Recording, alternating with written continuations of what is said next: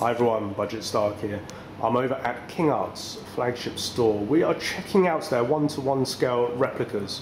They have the gauntlets from the Mark 43 from Age of Ultron, and we have Thor's hammer. This is die cast, and big thank you to the guys over at King Arts. They've actually told me that I can actually touch this, so I'm going to pick this up because I am worthy. Christ, this is really heavy. So uh, I'm, I'm going to actually put this back down before I hurt myself.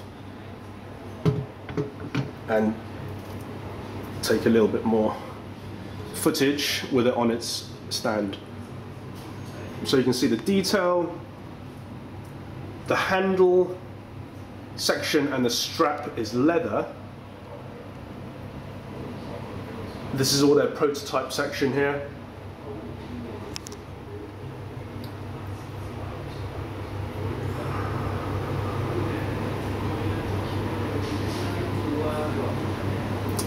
These are all their prototypes and sort of first looks at these before they go into full production. So no release date or pre-orders available yet.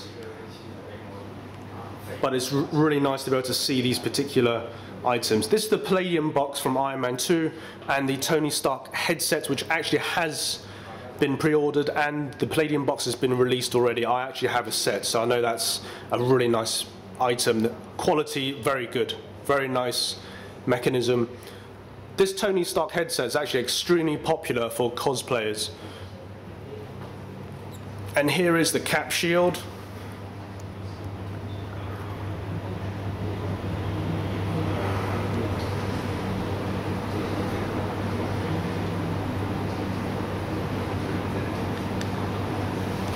nice battle damage and weathering on that. Paint app's pretty good.